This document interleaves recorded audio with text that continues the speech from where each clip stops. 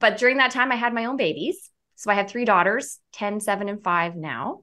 And Wow. uh, I would be going That's to the health food stores, yeah, going to the health food stores looking for products for them. Mhm. And knowing how to make good quality adult products, I was always kind of annoyed by the label ingredients for kids' products, thinking, you know, we can do better. We should be doing better. And uh, I was always putting products back on the shelf. So in the end, after Jamieson purchased the company and um, our office was closed in Vancouver, I knew that I wasn't really done.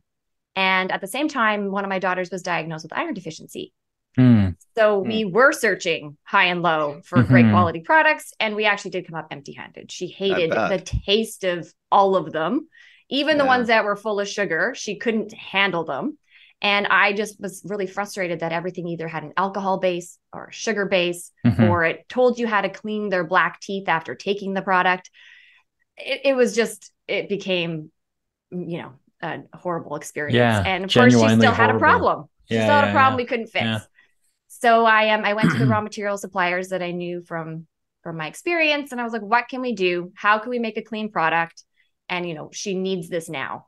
And so I made a product for her.